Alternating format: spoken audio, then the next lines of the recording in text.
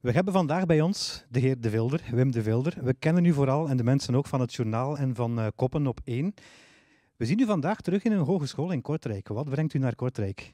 Ik heb een paar uurtjes een, uh, ja, een cameragewenning gegeven aan studenten. Dus ik heb uh, studenten die vooral eventmanagement um, studeren, geleerd hoe je voor een camera moet staan. Als ze ooit eens een interview moeten geven of uh, een interview moeten doen.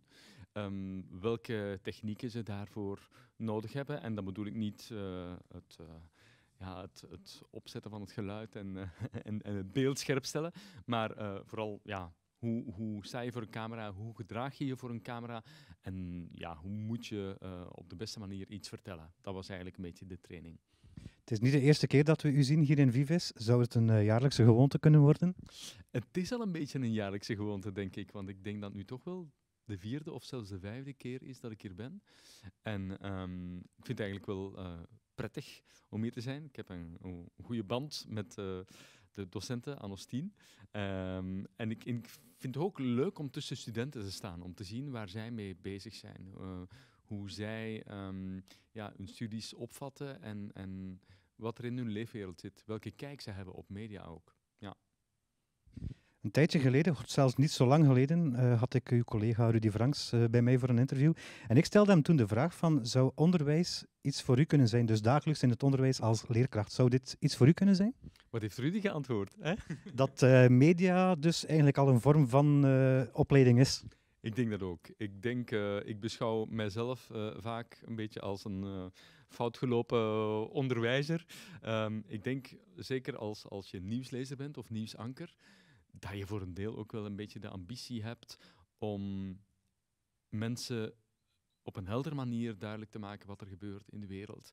En daar horen natuurlijk journalistieke skills bij, maar daar horen ook de skills bij van hoe breng je iets duidelijk, verstaanbaar over en plaats het in de juiste context. En dat is wat wij elke dag met het journaal proberen te doen. Dus het, het, het nieuwsanker zijn en onderwijzer zijn of docent zijn, docent zijn, het ligt niet zo heel ver uit elkaar, denk ik. Je hebt je carrière gestart in 1993 bij de VRT, toen nog op de radio. Je bent nu ondertussen een, bijna 17 jaar een vaste nieuwsanker bij uh, de VRT. Zijn er nog dromen dat je wil verwezenlijken, televisiegewijs dan? Eigenlijk, um, dat is een vraag die ik vaak krijg van wat is je ambitie nog? Maar ik, ik doe eigenlijk bijzonder graag wat ik nu doe. Ik kan het ook afwisselen met af en toe lesgeven, bijvoorbeeld zoals hier. Um, en, en er komen ook nog wel op televisievlak geregeld nieuwe projecten op mijn pad. Ik werk nu bijvoorbeeld mee aan het jaaroverzicht. Um, dus, dus ik heb eigenlijk heel veel afwisseling in mijn job. En zolang ik dat heb, denk ik, zal ik het graag blijven doen. Dus ik wil nog niet stoppen met mijn job als nieuwsanker. Of ik het nu echt ga blijven doen tot mijn pensioen daar durf ik, uh, daar durf ik geen geld op inzetten. Maar op dit moment um, vind ik het een ongelooflijk interessante job en ik doe hem graag. Als laatste vraag, we zitten in een hogeschool, dus ik moet die vraag stellen. Hoeveel punten zou je mij geven voor dit interview nu?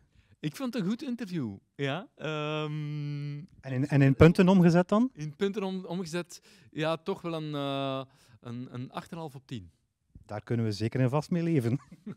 Proficiat, goed geslaagd. En dankjewel voor, dit, uh, voor deze leuke babbel. Graag gedaan, heel graag gedaan. Wasabi FM. Alles wat er leeft in de streek. En de hits. Eén station. De beste klassiekers. De grootste hits. Altijd en overal. Wij worden je heetste hitradio. 105.7. Wij draaien de hits waar jij van houdt. Your music, your station.